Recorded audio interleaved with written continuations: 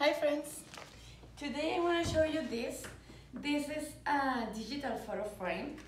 It's uh, of Pulloon and came with this user manual. It's so easy to use. So as you can see, comes with her charger. It's connected right here. And in the back I have a bottom of um, for turn it on. So we turn it on and as you can see it's a photo here.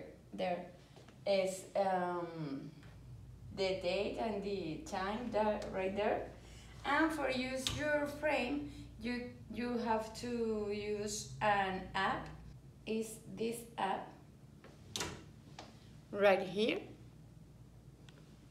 And in this app I can send photos to my frame you only have to connect your frame to Wi-Fi, the same Wi-Fi that your smartphone, and you select the photos that you want to, to send here.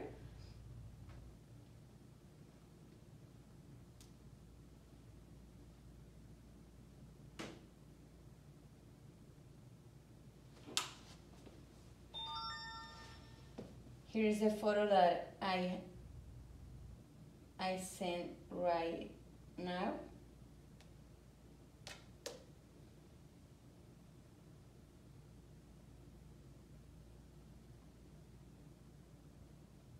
Right here, as you can see, I, I'm gonna send more photos. You can send send one photo. Oh, so much photos. Mm, we're gonna send four. I'm I'm uh, I'm choosing the photos.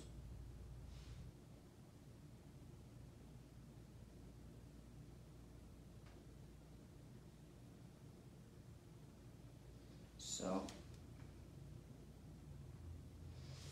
I select the photos and shows my frame right here. Next, I can put a name for the photos that I'm sending. And ready.